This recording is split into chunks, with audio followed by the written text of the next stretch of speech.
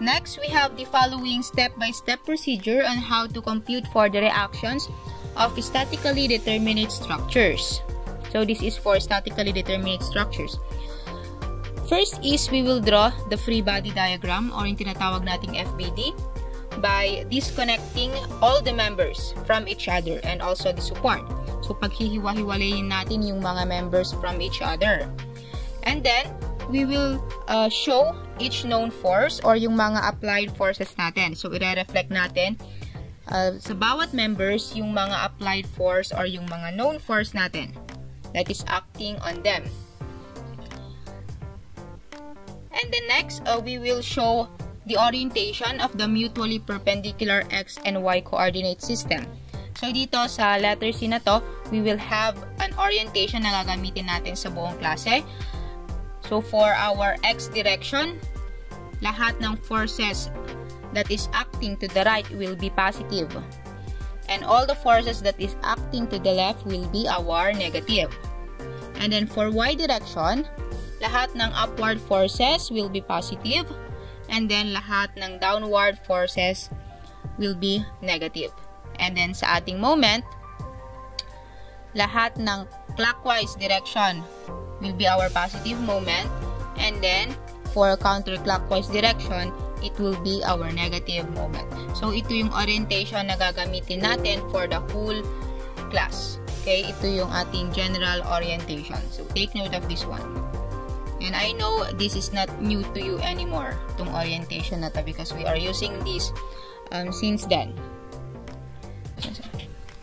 And next, At each point where the structure has been detached from a support, show the unknown external reactions being exerted on the structure. So the reaction forces are represented on the FBD by arrows in the known directions of their lines of actions. Yan, so basahan nyo na lang dyan. Ibig sabihin lang nito is at the supports or for the unknown external reactions, we will assume directions of forces. So, we will assume direction of forces sa ating support. So, kagaya ng sinabi ko kanina that we will use our um, general orientation for the uh, directions ng positive and negative. And to complete the FBD, huwag niyong kalimutang maglagay ng mga dimensions on each member. Next, uh, you will check the static determinacy of the structure. Ano yung ulit yung equation natin for static determinacy? Dapat yung ating reaction is equal to 3 plus the equations of conditions. So, dapat equal yan para masabi natin na it is static determinate or statically determinate. If the structure is either statically or geometrically unstable or indeterminate externally, then end the analysis at this stage.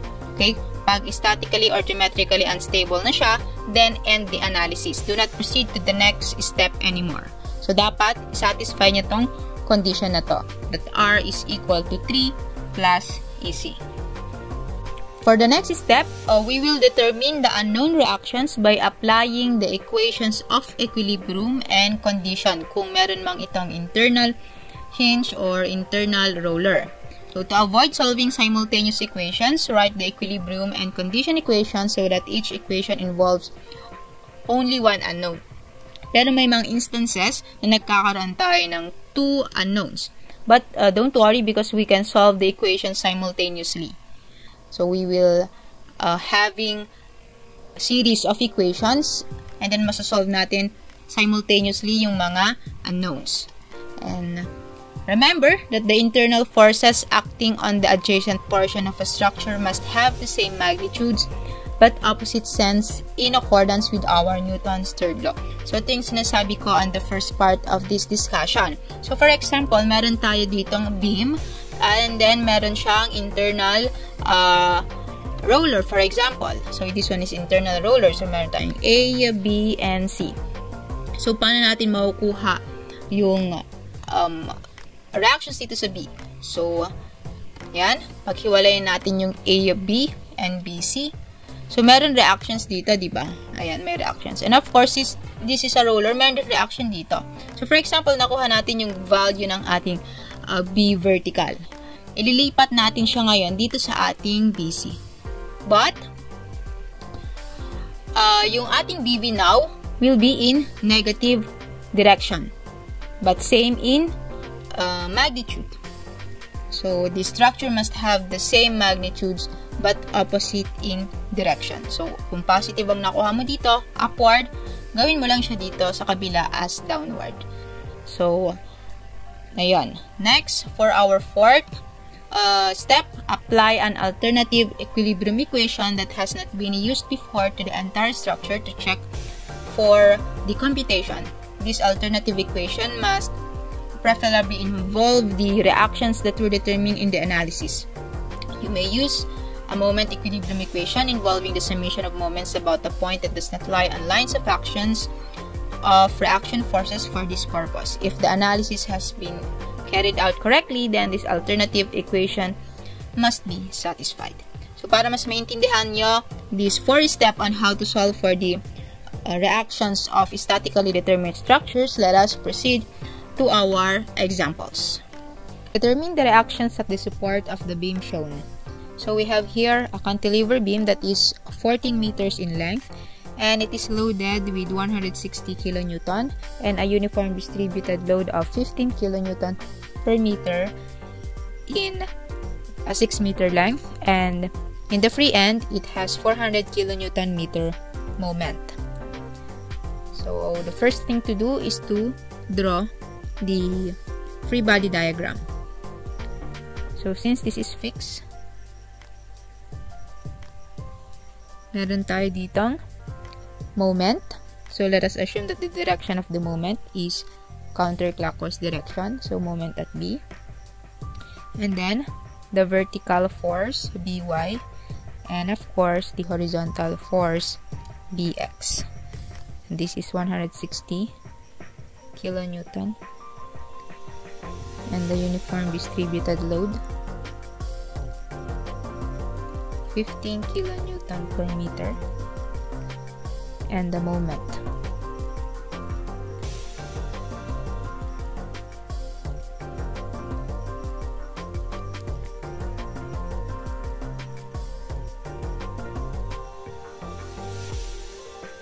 Yan, so this is the beam huh?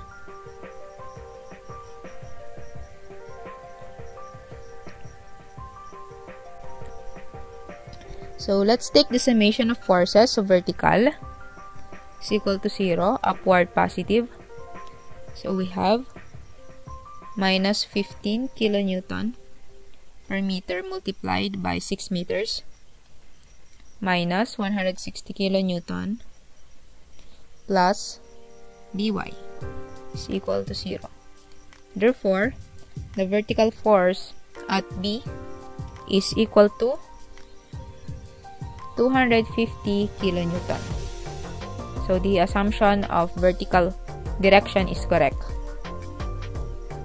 Next, taking the summation of forces horizontal is equal to 0. Right direction as the positive. So wala tayong makikita ibang um, x direction maliban dito sa bx. Therefore, our bx is equal to 0.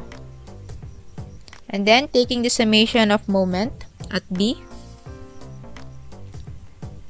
is equal to 0. Clockwise as our positive. So, we have negative MB. Dito tayo. Plus 400 kilonewton meter minus our 15 kilonewton per meter multiplied with 6 meters. Moment arm is 3 plus 4 plus 4. So, 3 plus 4 plus 4 meters. Minus 160 kilonewton. Moment arm is 4 meters. Is equal to 0 therefore the moment at B is equal to so it is equal to negative 1230 kilonewton meter So, negative yung direction natin. So, mali yung direction. Therefore, 1,230 kilonewton that meter clockwise. Okay. So, this is the values for the moment at B, the horizontal force at B, and the vertical force at B.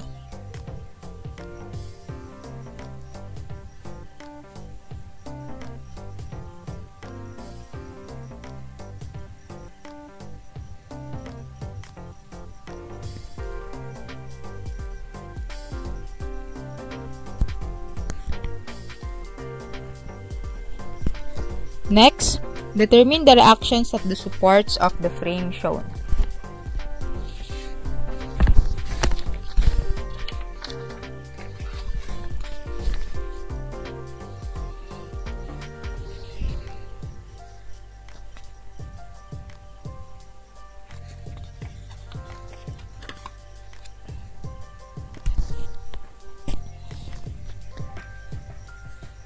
Next, determine the reactions at the supports of the frame shown. So, we have here our frame. And then, kagaya ng nauna nating example, we will draw the free body diagram.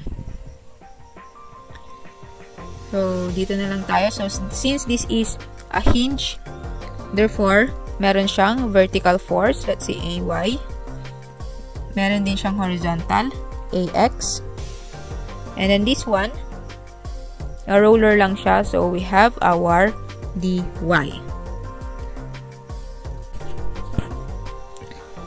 So, let's take the summation of moment at A. is equal to 0 and then clockwise as the positive. So, dito tayo magsisimula. We have negative dy multiplied by 3.6 meters.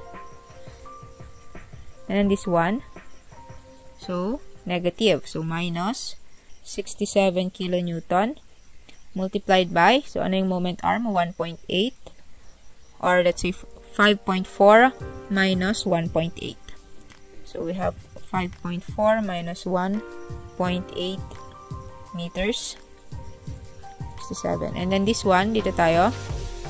Therefore, we have uh, plus. Plus 22 kilonewton per meter. Length niya is 3.6 plus 1.8.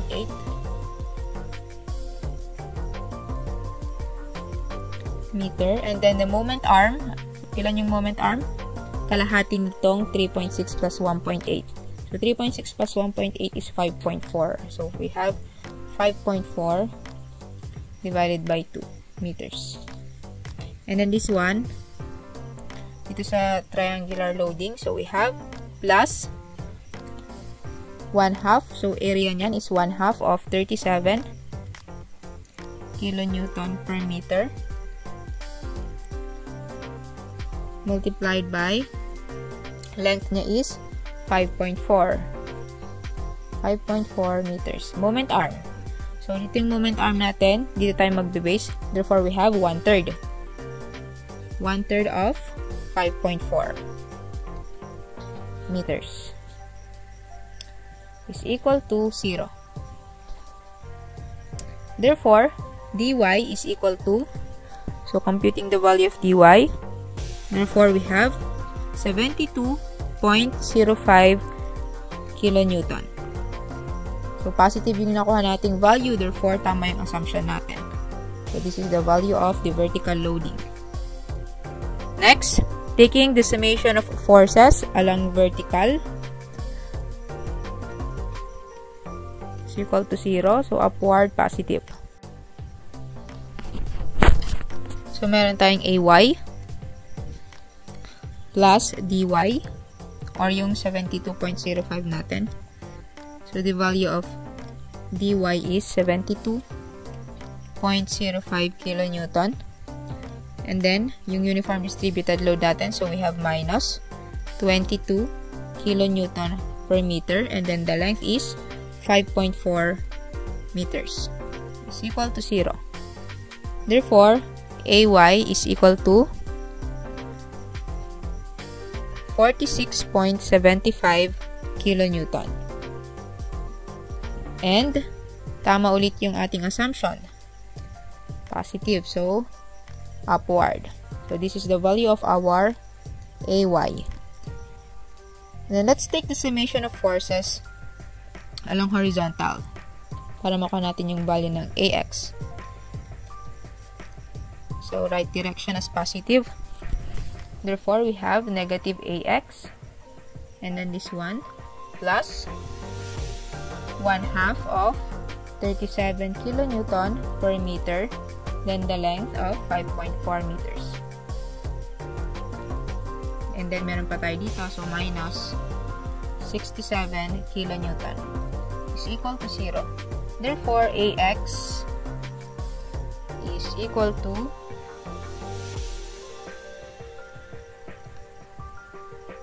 So, it is equal to 32.9 kilonewton. So, positive meaning tama yung ating direction. So, tama yung assumption ng ating direction that AX is directed to the left.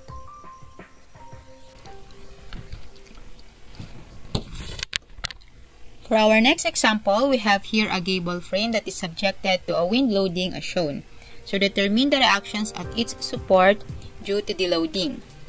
So, for our first step, kailangan muna nating i-determine if it is statically uh, determinate.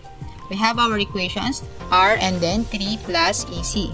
So, yung R natin is the number of unknown reactions. So, we have here, hinge itong part na to. So, it has two unknowns and then same this one, we have two unknowns. Therefore, the number of unknowns will be 4. And then, ilan yung equations of conditions natin? We only have one internal hinge. Therefore, isa lang yung ating equations of condition. So, 3 plus 1 is equal to 4. Ayan. Therefore, R is equal to 3 plus EC. Therefore, it is statically determinate externally. Ayan. So, we can now proceed to our next step. Our next step here is to um, convert this uniformly distributed load into a point load para mas madali. So, we have here, sabihin natin R1. So, yung R1 natin, meron niyang X and Y component na papangalanan natin R1X and then R1Y. So, for our R1, we have 0.75 kilonewton per meter.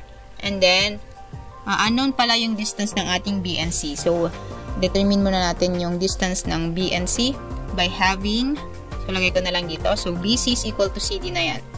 Is equal to square root of 2.5 squared plus height nito is 2 meters. Therefore, it is equal to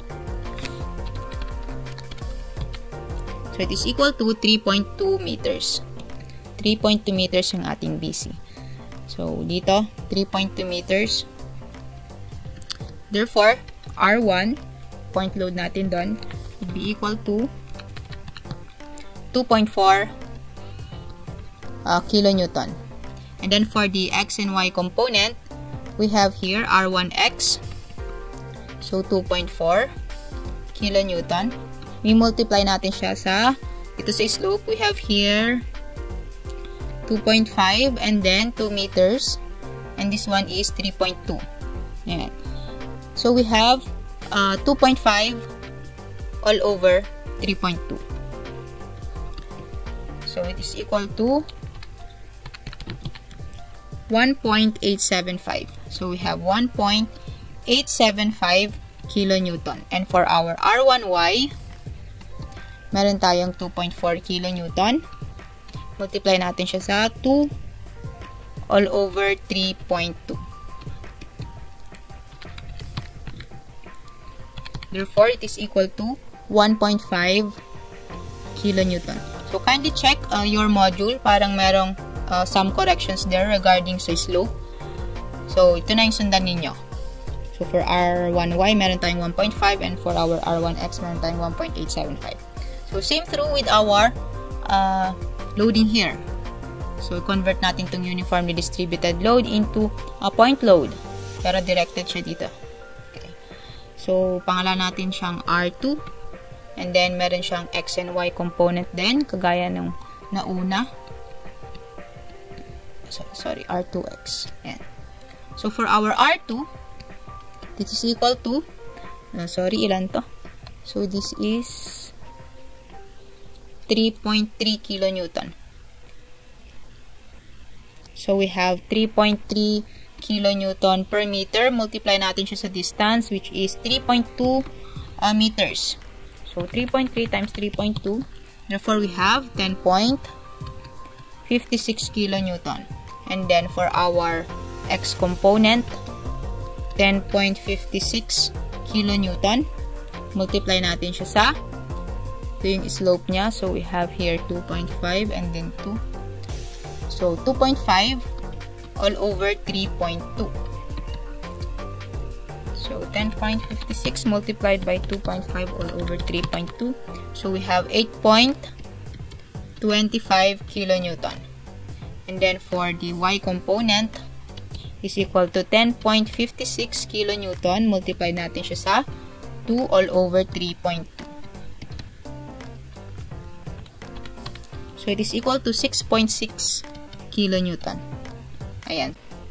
Next, so since our support at A is a hinge and also with E, meron tayong a vertical and horizontal. So, we will assume that we have our uh, vertical directions here, upward, and then dito sa ating AX to the left. And dito sa ating E, we have EX. So, assumptions lang muna itong mga to, itong mga directions niya makikita natin mamaya kung tama ba yung ating orientation or yung ating assumption. So first, we will take the summation of moment at E. So taking the summation of moment at E is equal to 0. Therefore, we have AY, moment arm is 5 meters, plus 3.75 kilonewton per meter Length niya is 4 meters. Ilan yung moment arm? 2 meters. Have 2 meters. And then, uh, plus, dito ulit tayo. So, 2.4 kilonewton per meter. Length niya is 4 meters. Moment arm is also 2 meters. Next, we have the x component for our R1. So, 1.875 kilonewton. So, the moment arm is 4 plus half ito is 1. So, we have uh, 5 meters plus yung ating y component. So, I mean it is negative. So, negative 1.5 kasi counterclockwise. So, we have 1.5 kilonewton. Moment arm is 2.5 and then half ng 2.5. So, we have 2.5 plus 1.25. So, we have 3.75 meters. And then, dito naman tayo sa R2. So, sa X component, we have 8.25. Moment arm is 5 meters. Ayan. And then, for the Y component, we have plus 6.6 kilonewton. Moment arm is 2.5 divided by 2, which is equal to 1.25 meters. It's equal to 0. Therefore, our AY is equal to negative 20.49 kilonewton.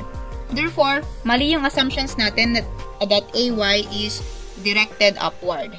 So, AY now is equal to, baguhin na natin yung orientations, 2.49 kilonewton downward. So, ayan yung ating uh, vertical force on our A.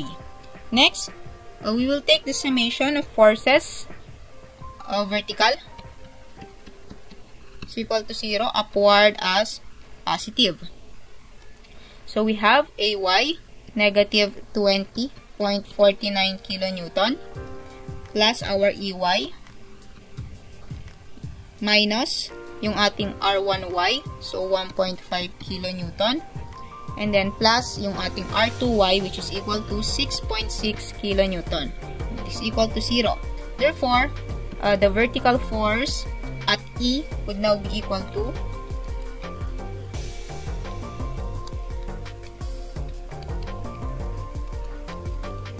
So it is equal to 15.39 kilonewton. So 15.39 kilonewton. Meaning tama yung ating assumptions na pataas. Okay? So ito yung ating EY, AY. So what uh, are we looking for for the reactions? So we have here EY and then our AY. So, meron pa tayong dalawang reactions na hinahanap. Next, ide-determine na natin ngayon yung ating unknown AX and then EX. So, ang gagawin natin then is to dissect the um, structure into two sa kanyang internal hinge. So, drawing ko lang dito. So, we have our A1, uh, or AY, I should say. So, our AY is 20.49 downward. So, double check lang natin. Yes, it is uh, 20.49 kilonewton. And then, yung assumption natin for AX is to the left. Then, we have our uniformly distributed load here. That is equal to 3.75 kilonewton per meter. And then, meron tayo ditong 1.5 and then 1.875. So, dito yung internal hinge natin. So, we will assume directions for our x and y also. So, sabihin natin this is cx and then this is our cy. Then, of course, huwag natin kalimutan yung ating dimensions. So, this is 4 meters and then 2 meters. Then, we have 2.5 meters. So, let's take the summation of moment at C para makuha natin yung value ng ating AX. So, taking the summation of moment at C is equal to 0, clockwise, positive. So, we have AX multiplied by a 4 plus 2, so 6 meters. Then, our AY minus 20.49 moment arm is 2.5 uniform distributed load minus 3.75 uh, length niya is 4 meters moment arm is 2 plus 2 and then dito naman so we have negative 1.875 moment arm is 1 meter then yung isa minus 1.5 moment arm is uh, 1.25 meters is equal to 0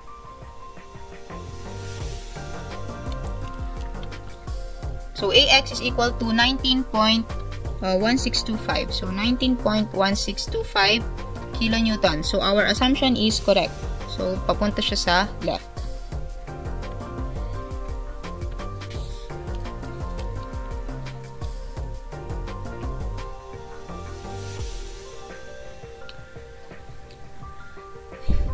Next, uh, yung natitira is yung EX natin. So, we can take the summation of forces horizontal is equal to 0 to the right positive. So, yung ating AX, we have negative 19.1625 plus EX. And then, yung ating uniform distributed load, so plus 3.75 multiplied by the length of 4 meters. Same through with 2.4. So, 2.4 multiplied by 4 meters. And then, yung ating R1X na 1.875 and then yung ating R2x na 8.25 is equal to 0. Therefore, EX is equal to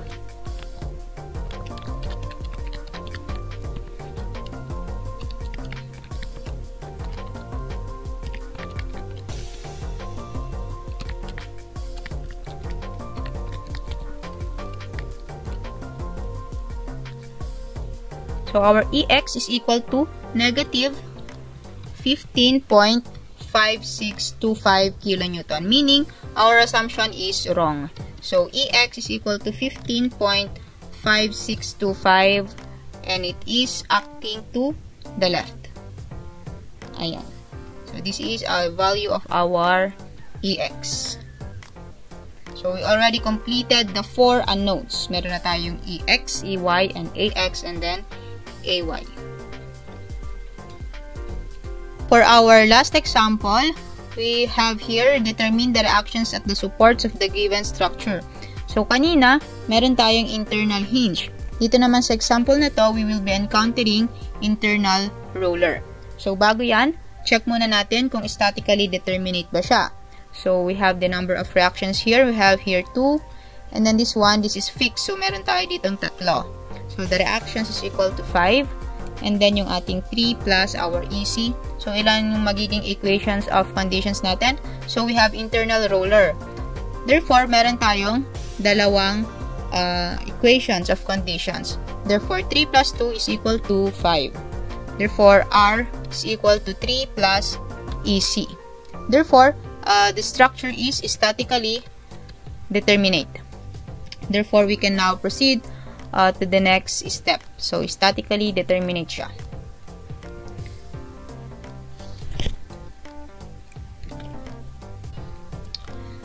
So, for this one, i-assume natin that it has um,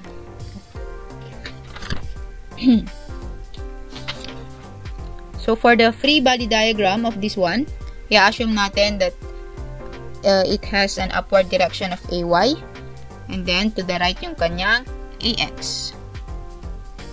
And same true with this one, i-assume natin dito na we have BX and then yung ating BY. We have a moment. So, assumptions natin yung mga directions. So, ang una natin gagawin dito is to isolate yung ating member AC. So, isolate natin siya from BC. So, this is AY, AX, and then we have an assumption na yung ating CY is upward. Assumption, CY is upward. And then, don't forget the applied uh, reaction or the applied force, 130 kilonewton. And then, of course, the distance. So, this is 3 meters, 3 meters. And then, yung slope ng ating force pala is uh, 5, 12, 13. So, we have here 5, 12, and then 13. So, we will take the summation of moment at C. So, taking the summation of moment at C is equal to 0. Therefore, we have AY, moment arm of 6 meters. Ayan. And then, meron tayong uh, reactions dito na vertical. So, 130, 12 all over 13 dito. So, minus 130, 12 all over 13. And dito naman, so ilagay ko na lang kahit hindi natin siya magagamit at this part. So, we have here 130 and then 5 all over 13. So, yun yung uh, x component niya. Then, wag kakalimutan pala yung moment arm. So, yung moment arm is 3 meters. Okay, so ulitin ko lang. Kinuha natin yung uh, y component ng 130 kN by multiplying it by the slope of 12 all over 13 and then yung kanyang moment arm na 3 meters. So, it is equal to 0. Therefore, AY is equal to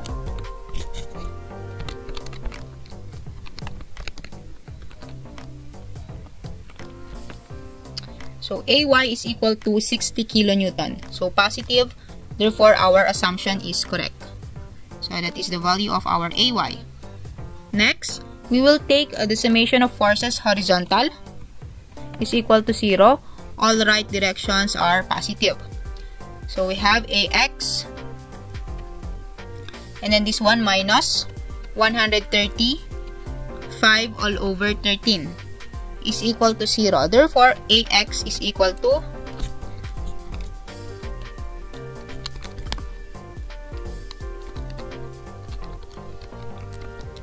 So, it is equal to 50 kilonewton. So, tama ulit yung ating assumption. So, 50 kilonewton to the right. So, ito yung ating AX.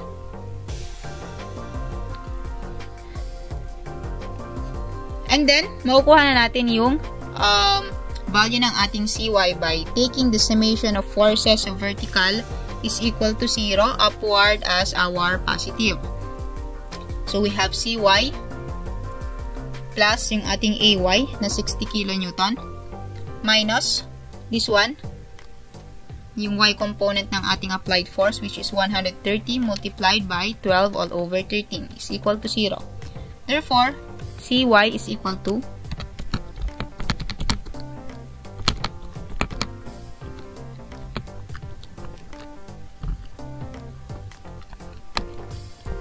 CY is also equal to 60 kilonewton. So, 60 kilonewton.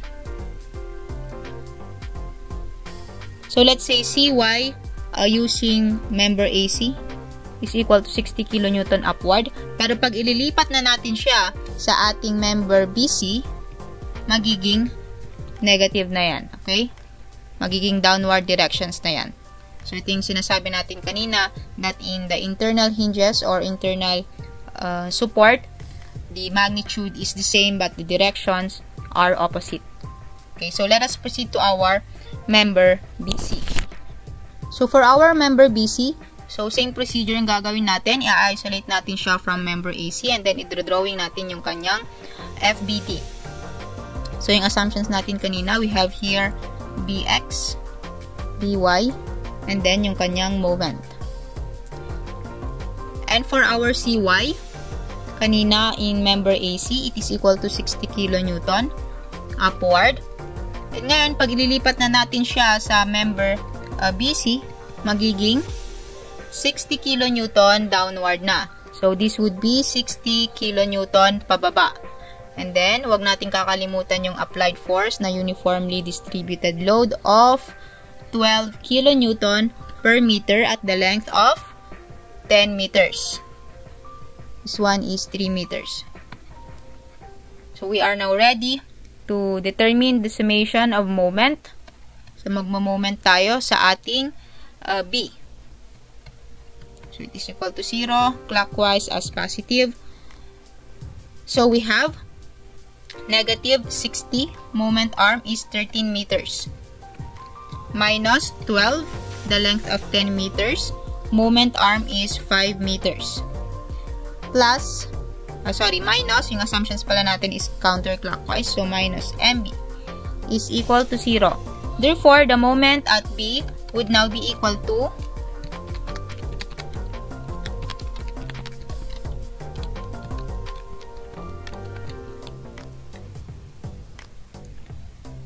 So, it is equal to negative 1,380 kilonewton dot meter. Meaning, mali yung assumptions natin. So, dapat pala, it is clockwise direction. So, it's okay na mali lang yung assumptions natin. Baguhin na lang natin dito. So, this is the moment at B. 1,380 kilonewton dot meter clockwise. And then, let's take the summation of forces vertical uh, is equal to 0. Upward as positive. So, we have negative 60 kilonewton minus 12 kilonewton per meter multiplied by 10 meters plus By is equal to 0. Therefore, the vertical force at B would now be equal to